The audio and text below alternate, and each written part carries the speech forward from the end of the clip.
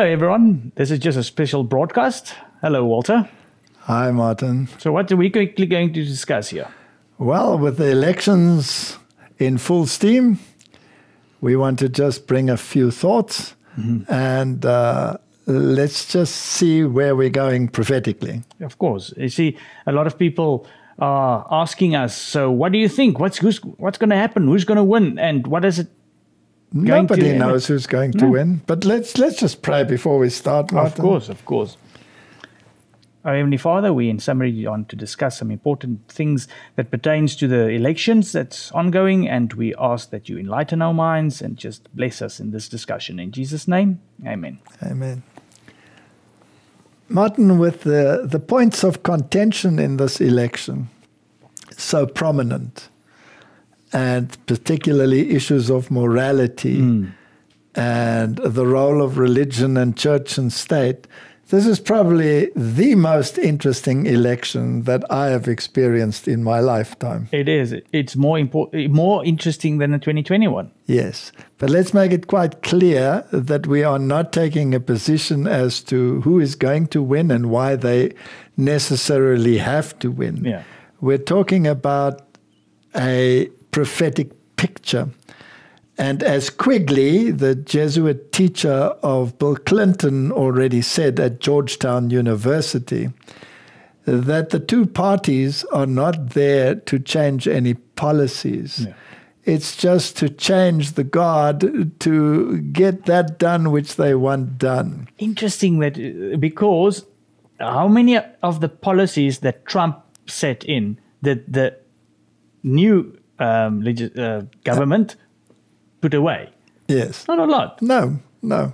So it is it is a Hegelian dialectic and a game.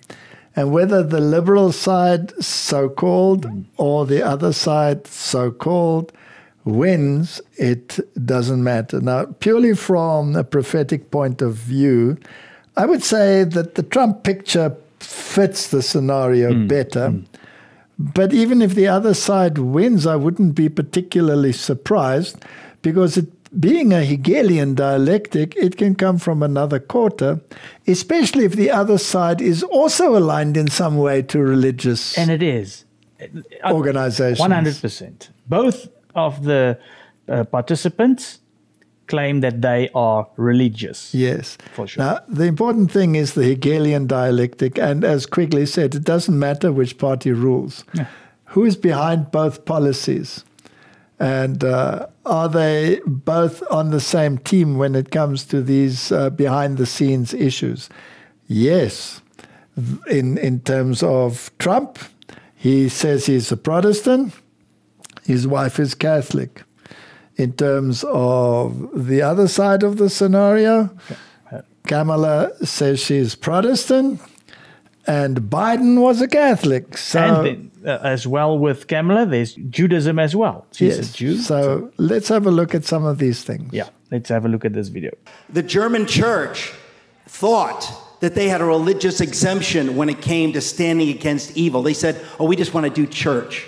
Oh, we just want to preach the gospel. We just want to do evangelism. Well, when evil is rising, the devil also wants you just to do evangelism. And shame on you, because God has called you to disciple your people. He has called you to speak the truth. And when somebody tells you Christians aren't supposed to be political, that that's Christian nationalism, folks, that's the voice of the devil, okay? Uh, just to make the point, is there a serious religious aspect to this election? Of, it's amazing. I mean, this was recorded at a um, gathering of 3,000 pastors and Christian leaders where Donald Trump um, was talking. So He was presiding there. Yes. Yes. And he said that anything, anyone that says that um, you should not be taking a political stand is from the devil. Well, we've got uh, contradictory statements in the spirit of prophecy. Exactly the opposite. A word to Donald Trump. Mr. President, I speak of the mystery of your life.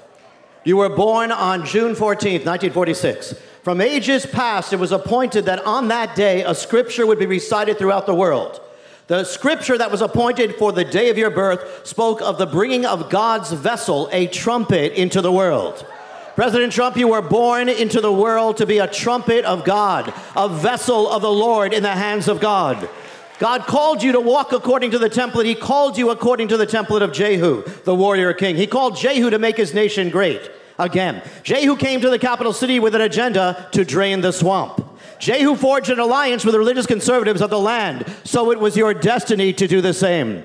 To come to power, Jehu had to prevail against the nation's former first lady. So to come to power, you had to prevail against the nation's former first lady. Jehu overturned the cult of Baal by which children were sacrificed. So God chose you to overturn America's cult of Baal, Roe versus Wade, by which millions of babies were sacrificed. And you set it in motion on a day that was appointed from ancient times to cause a nation to turn away from its sin. There are so many mysteries to your life. But before you were born, God ordained that you would walk into his destiny. Let's ask again Is there a powerful religious aspect to this election? Amazing. And this is prophesying over him. Just as the the same happened in 2020 and what happened to those prophecies. He's, a, he's, he's comparing him to Jehu. yes. Now, in the, in the archaeological reliefs that we find, in some of the codes, especially of the Syrian kings, for example, Jehu is depicted with a Phrygian hat, bowing down to the kings of the other nations in subservience. Yeah. And God used him as a stick. Yes, he used him as a stick, but he wasn't exactly exemplifying, uh, you know, what the religion stands for. But interesting that they should call him Donald Trump the Trump of God and portraying him in this way that he would drain the swamp and clean up everything and bring in that change that prophecy says. But it could happen from the other side as well. Yes. Because if the ultra liberal side wins and there's a backlash from Christianity, the pressure could They- easily bring about a change, especially since they're so affiliated with the religious sides as well. And Kamala is known that she can change her mind a little bit. Very quickly. Hmm. Yes. What, when you win, as things come forth, what happens for you in the second term for faith office? What's your administration look like? So, well, first of all, we're going to set that up, and we'll be talking to you and all of the people that we just met, and anybody else that you think is appropriate. We'll have, but it's important, and it'll be directly into the Oval Office and me. So we'll we'll do that. No, we have to save religion in this country. I mean, honestly, re- religion is under threat in this country, serious threat, and we can't let that happen because I really believe it's it's sort of the fabric of our country. It's the thing that holds our country together, and we can't we can't lose it, and we're not going to lose it. But you are so important. You do such an incredible job, and you keep the country together. And the more powerful you become, the better the country is going to be. So I'm just with you all the way. So, as we said, uh, statements like that just fit the prophetic picture perfectly. If the other side wins, it could be like almost a shock, right? In terms of the religious world. Yeah. But it might just be something that uh, the adversary has up his uh, uh, sleeve. He always works with a surprise. He can come from the left and he can come from the right. So we're not going to take sides. We're going to talk once it's over. That's it. But this prophetic profile mm, mm. is where the country is heading, whether it comes from the conservative side or whether it comes from the liberal side. Yeah. In other words, it doesn't matter which side is going to win, this is going to happen. Yeah. Just that the Republicans are vocalizing it. Exactly, exactly. And way better than when he speaks with um, Tucker Carlson. Correct. Is But as the Jesuit Quigley said, whether the one party wins or the other party wins, the agenda stays the same. Exactly the same. So you said that you were saved in the end by an angel. How have your views about God changed in the last eight years, and particularly after getting shot? Well, look, I've always been a believer, but I wouldn't say, you know, there's a certain pastor, Robert Jeffress, and I didn't know, his name is Robert Jeffress, nice guy from Texas. And he said, you know, Trump may not be the best Christian of all, but he's the only one going to take us to the promised land because he's the best leader and he's the toughest guy and he's going to be able to get us through this crazy life. And he was a big supporter. And now I have unbelievable evangelical and Christian support because I have. I mean, I've done a great job for them and we're, you know, we're, we're together. But he said he may not know the Bible quite as well as other people are supposed to.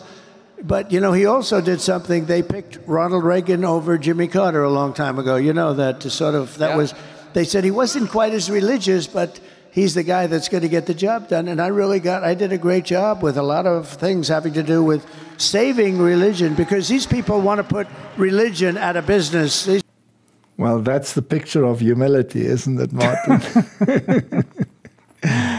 I find this election so interesting. You know, it's building on the last one. yes. Because we had the similar. I mean, people can go back and go and watch. I mean, they can go and watch Trump, uh, um, Trump card that you ma- did yes. before that.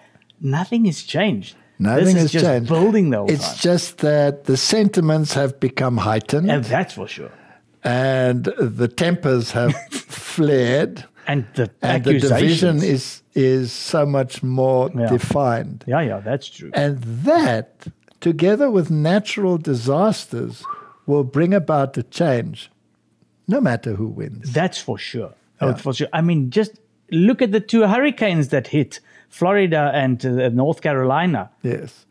Uh, we won't and, even and that. what happened in Spain now? Oh yes, just now. But just for interest's sake, let's say Kamala wins. Hmm. Will any of these sentiments disappear? No. No, Not they'll only be heightened. Oh, it's gonna. So even if she wins, and these sentiments become heightened, could it explode into a civil war, perhaps even? Oh. But if it doesn't go that way, then this picture is in line with what prophecy says. If it doesn't happen this way, maybe through some other event, violence or whatever, the mm-hmm. picture will stay the same because this is the prophetic picture. Yeah, for sure. But as I look back at my life's journey and events, I now recognize that it's been the hand of God leading me to where I am today.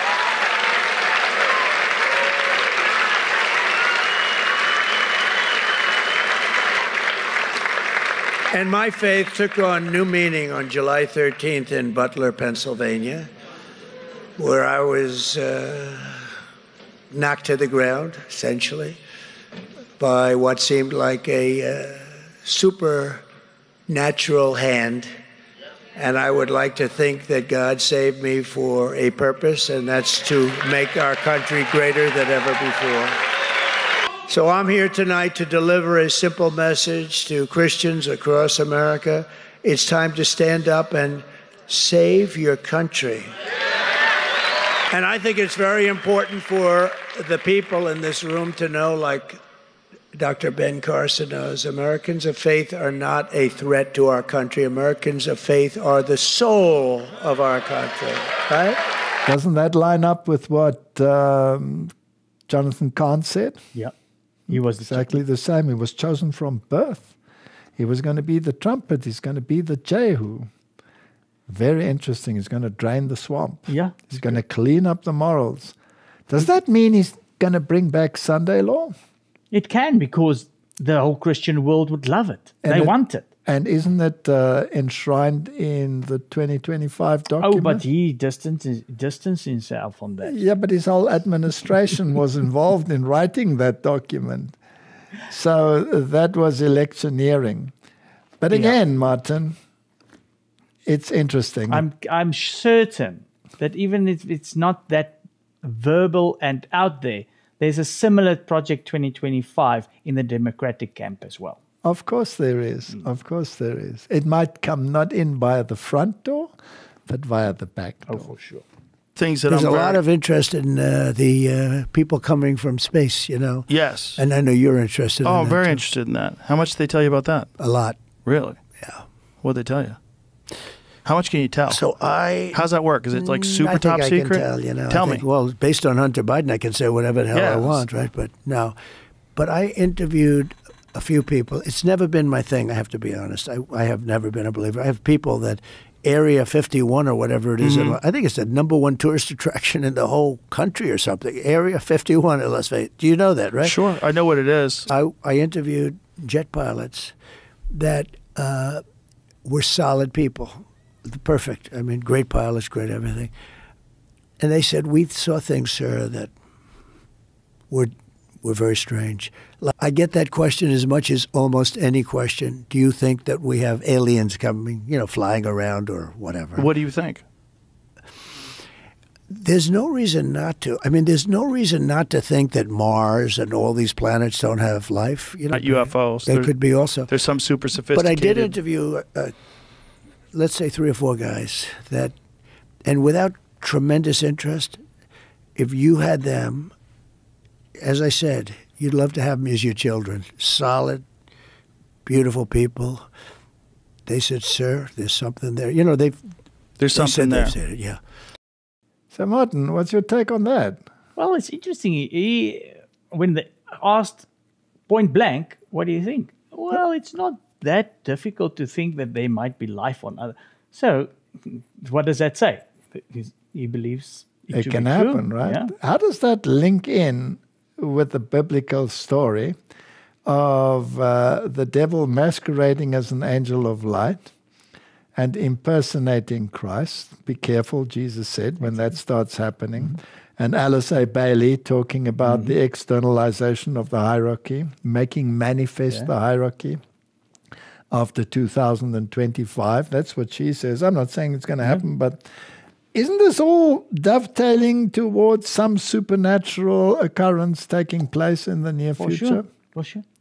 When uh, Kamala Harris was asked the same on Jimmy Kimmel, she said mm, it's um, off limits. She's not going to say anything. Uh-huh. So So they're both talking about Yeah, it. yeah, Interesting. And we're back with Vice President Kamala Harris. I want to ask you about something I read. Um, I read that the fir- one of the first phone calls you made after President Biden announced that he was dropping out was to your pastor. And I'm wondering if it wasn't a confessional, if you could say what that conversation was like.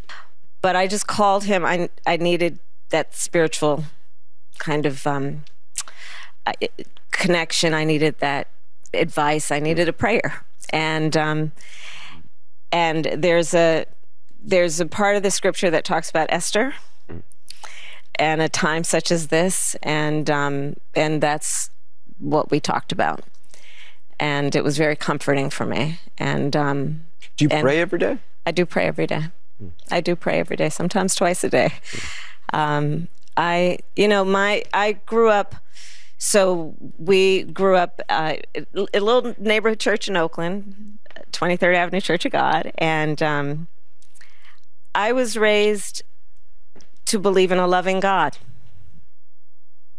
To believe that your faith is a verb. You know, you you you live your faith and um, and that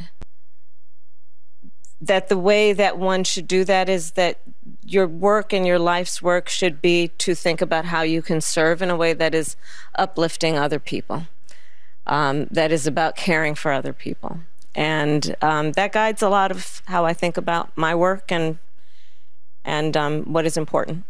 Now, what's interesting is there you also have this faith connection, right? They're trying to portray her in the media as anti faith. Like when those people spoke about Jesus in her rally, she said, You're at the wrong rally, and Yeah, yeah. all of those things that happened. So the faith issue is being played. But here she's showing that she does have a connection with the faith. All right, she was the first one mm-hmm. to perform, or one of the first ones to perform gay marriages, etc. And then, if you look at, at Pope Francis and his stance, you have the conservative Catholics Yeah, yeah. totally against it. But the papacy never changes, so it's playing a game. Exactly. We must talk about the papacy never changing. yeah, right? yeah. But, well, I think we'll do that now with the next WhatsApp prompt. Yes, we'll do that. So this is all an interesting game. And there's something there to lure people into a mindset, That's. That's where we go. wandering after the Pope. So exactly that is what you're saying. This all, this whole election, is to drive people into a certain direction, into a mindset. into a mindset. And it'll it will have to be a compromise mindset. So even if the legislation becomes religious, it must have a secular angle. Mm, mm. So let's say you're talking about uh, climate change and Sunday legislation. Whether that comes from a conservative or a liberal side doesn't matter. You come from a different direction, but the same result will That's will be imminent, right? So, shall we sum up and say this is the most interesting election as far as the biblical prophecy is concerned of all times? Whether it, the the outcome comes from the left, the the prophetic outcome comes from the left or from the right, that'll be interesting to see. Yeah. And let's talk more about this when the election is over. I will. Thank you. Let's pray. Let's pray. Heavenly Father, the prophetic picture is so very clear, and the noises that are being made are so very much aligned with what has been predicted. And we are so interested to see whether it'll come from one side or the other, which part of the dialectic will be played out. And soon we will know. And help us to make a right application, is our prayer. In Jesus' name, amen. Amen.